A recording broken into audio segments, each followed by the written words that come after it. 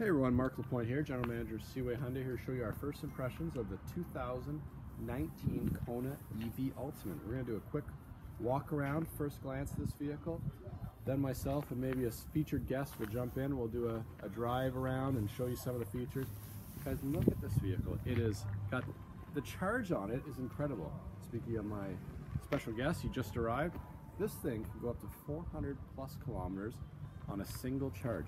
That's like that's like a Tesla, but on a Hyundai budget, which is which is fantastic. I mean, think about it. You do not have to put gas in this car. You just throw it in your garage every night, just like your iPhone. You hook that up to a charger, well, you hook your Kona up to a charger. And every day, this baby's charged up. Don't have to worry about ever filling up at the pump. It's it's a fantastic vehicle. I just took it for a quick drive to get my myself familiarized with it before we go on a, our first drive with you guys to show you some of the features. This one is the ultimate. It's got all the features. It's got leather. It's got a sunroof. It's got it's got Jeff Joubert coming on a test drive with me. Hey Jeff, we need you for after, buddy. So, again, lots of standard features on the inside. Before we, well, maybe we should show you some of the features before we do our first test drive with you. Let's have a look. We got the sunroof, gorgeous leather seats in the back, and it's got full. It's full of electronics, full of really cool features, lots of safety features. Uh, lots of stuff that you will not find in many hybrid vehicles of this nature. But it's got all the features you'd also expect to find, like a power driver's seat, power windows, power locks, power mirrors. You've got an Infinity sound system. You've got Bluetooth, of course. You've got heated seats. You've got cooled seats on both sides.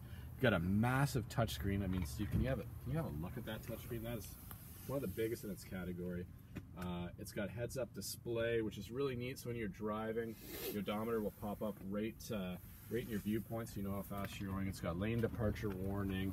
It's got blind spot detection. It's it's got everything. I mean, you, you, you, we're going to show you when you get closer to your vehicle. You can set this vehicle when you're on cruise.